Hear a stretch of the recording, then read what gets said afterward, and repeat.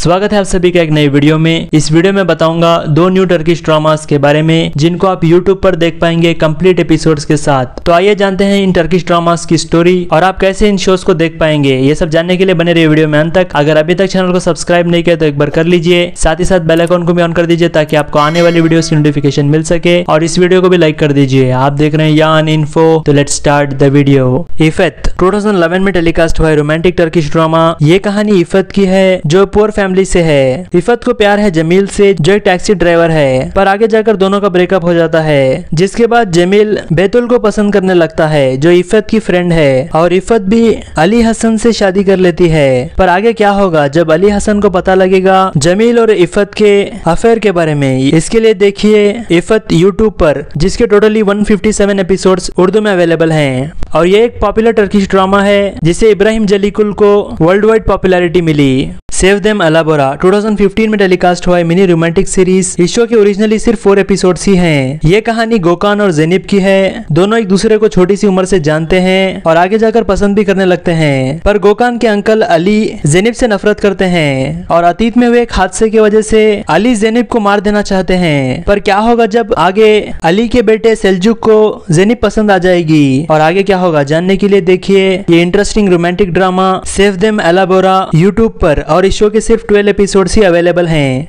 इस शो की स्टोरी तो बहुत ज़्यादा इंटरेस्टिंग है, मगर लो टीआरपी की वजह से इस शो को टर्की में सिर्फ़ फोर एपिसोड्स के साथ ही खत्म करना पड़ा। ये दोनों शोज़ यूट्यूब पर कंप्लीट एपिसोड्स के साथ अवेलेबल हैं, और इन टर्किश ड्रामास की स्टोरी भी बहुत ज़्यादा इंटरेस्टिंग है, जिसे देख के आपको बिल्कुल बोर महसूस नहीं होगा। और क्या आप इन शोज़ को देखेंगे या फिर नहीं कमेंट करके ज़रूर बताइएगा। मिलते हैं अगले वीडियो में थैंक्स फॉर वॉचिंग